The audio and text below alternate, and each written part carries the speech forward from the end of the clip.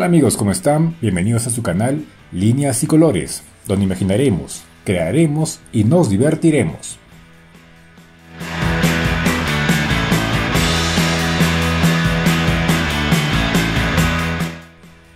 En el video del día de hoy vamos a utilizar la perspectiva para crear palabras en tres dimensiones, en 3D. ¿Quieres ver cómo se usa la perspectiva para hacer este efecto? Pues quédate en este video que vamos a hacerlo a continuación.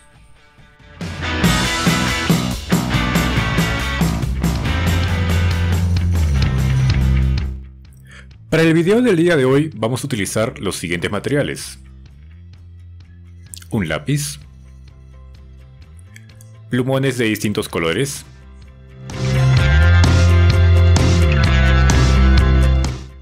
regla, acuarelas, cualquier tipo, una paleta para mezclar la acuarela,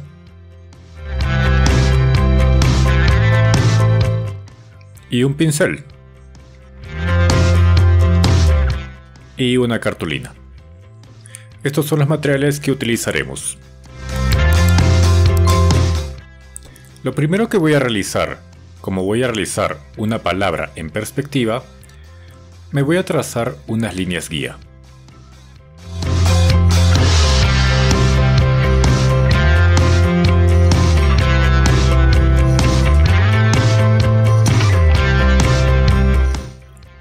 Estas líneas serán la guía para poner la palabra.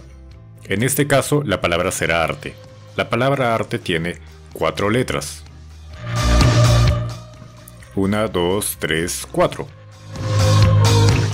Y esas cuatro letras las vamos a dividir en este espacio.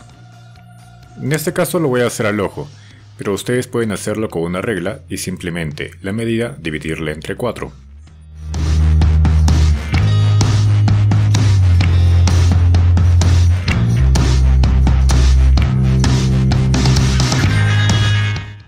En el espacio de cada división pondré una de las letras.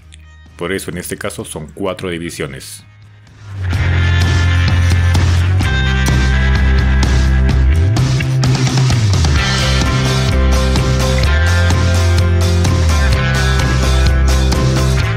¿Para qué hago esto?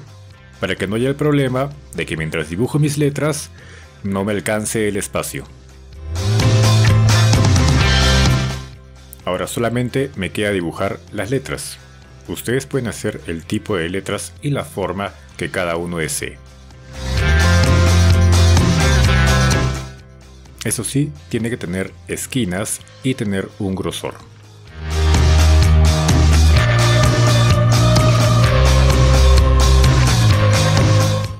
Si se van percatando, el diseño de mis letras es corto por la parte de abajo y más ancho por la parte de arriba.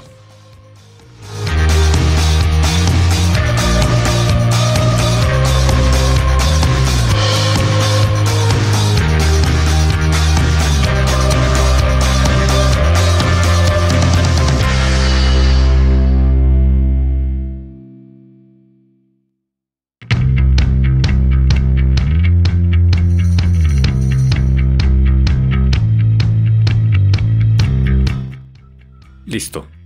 Este es el primer paso. Después yo voy a borrar las líneas guía, para que no me interrumpan.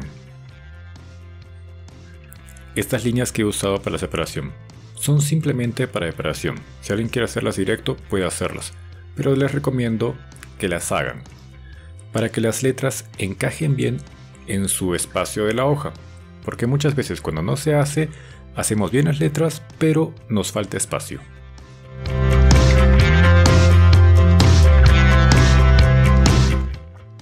Una vez que tenemos el dibujo listo, vamos a empezar a trazar nuestras líneas de perspectiva, para lo cual voy a poner un punto de fuga, en este caso casi en el medio. ¿Y qué hago? Simplemente empiezo a revisar si las esquinas funcionan. Esta esquina, si yo la prolongo, no es interrumpida por nada. Esta esquina, al prolongarla, tampoco es interrumpida. Pero ¿qué pasa con esa esquina? Si yo prolongo esa esquina, ya desde un comienzo está dentro de mi figura, para lo cual no la voy a poner, no es necesario colocarla. Esta esquina cuando la prolongo no es interrumpida con nada. Esta esquina de igual manera la prolongo y se interrumpe. Esta de acá no pasa nada. Esta esquina también la prolongo y no es interrumpida. Esta esquina la puedo prolongar pero se va a interrumpir por la otra letra. No hay ningún problema.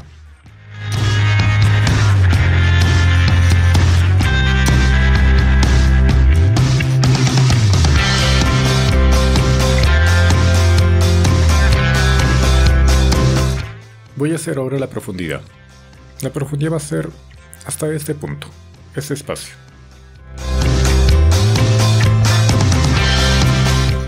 Me trazo una línea guía. Ahora, ¿qué tengo que hacer? Esta línea la tengo que trasladar hacia este punto, en la misma dirección, para lo cual voy a bajar, bajar, bajar mi regla hasta mi profundidad. Ahora remarco mis líneas.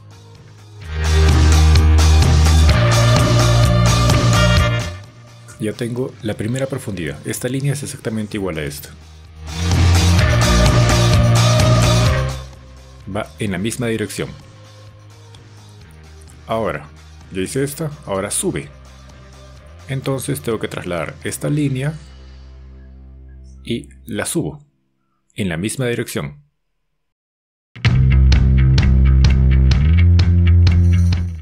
ahora va para un costado. De igual manera, pongo mi regla y la traslado. Es un pequeño pedacito.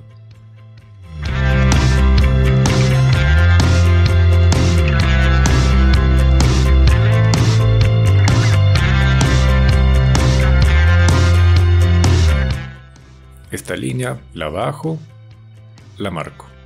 Siempre tienen que ir en la misma dirección.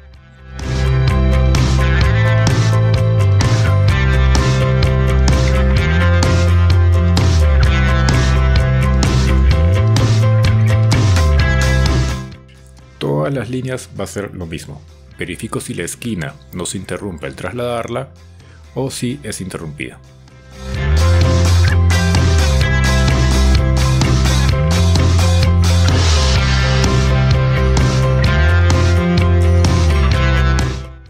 De igual manera la profundidad, en la misma dirección a las que va la línea.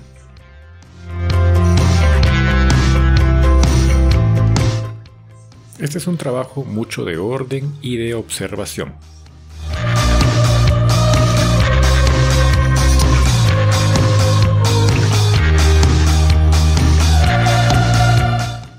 Si se dan cuenta, estoy haciendo letra por letra, no estoy haciéndolas todas a la vez.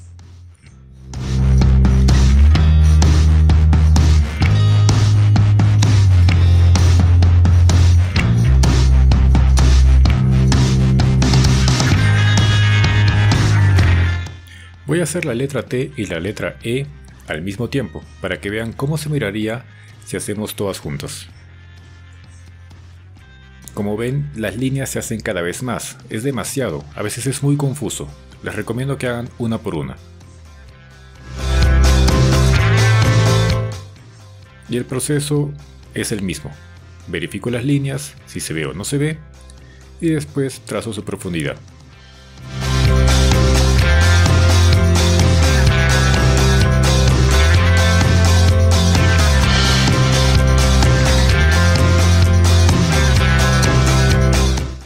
Después simplemente borro las líneas que sobran. Ahora, para decorarlo, voy a pintar el fondo de acuarela. Va a ser una acuarela tipo manchas, quiero que sea una especie de galaxia.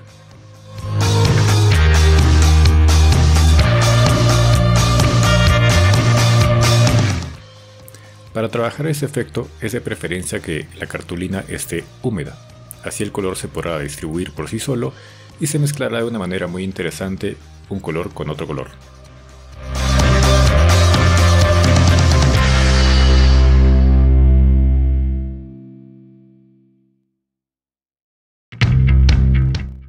Al terminar de hacer el fondo, lo dejaré secar.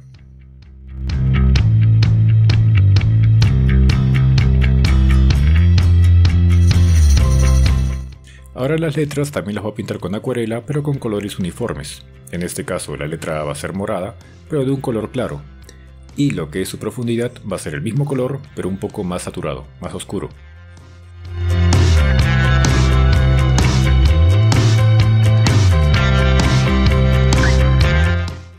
De la misma manera trabajo las demás letras. El color de la letra, un color claro, y el color de la profundidad, un poco más oscuro.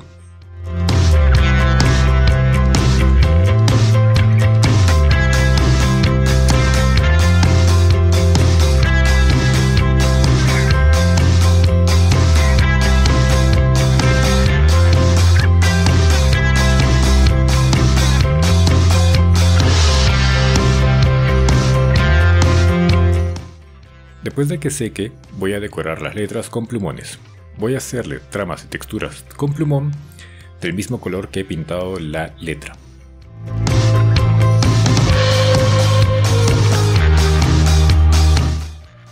Aplicaré tramas y texturas para hacer más interesante este trabajo.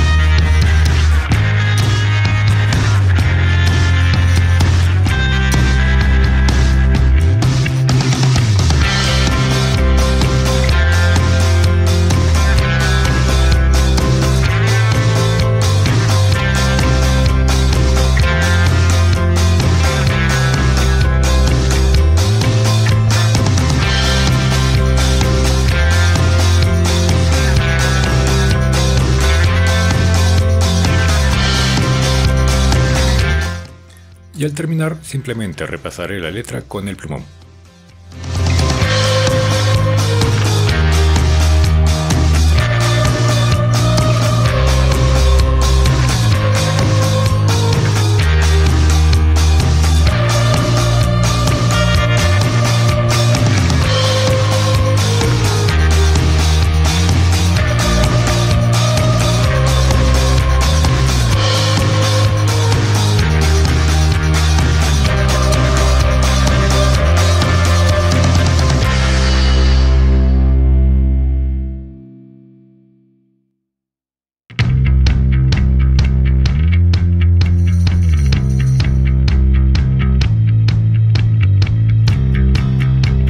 Y listo amigos, hemos realizado la palabra arte como si fuera tridimensional, en tres dimensiones, utilizando la perspectiva medio para ver.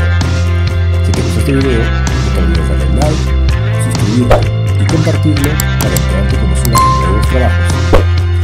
Si tienen alguna idea para algún trabajo que quieran hacer, no se olviden dejarlo en la cajita de comentarios. Y recuerden amigos, imaginen, creen y.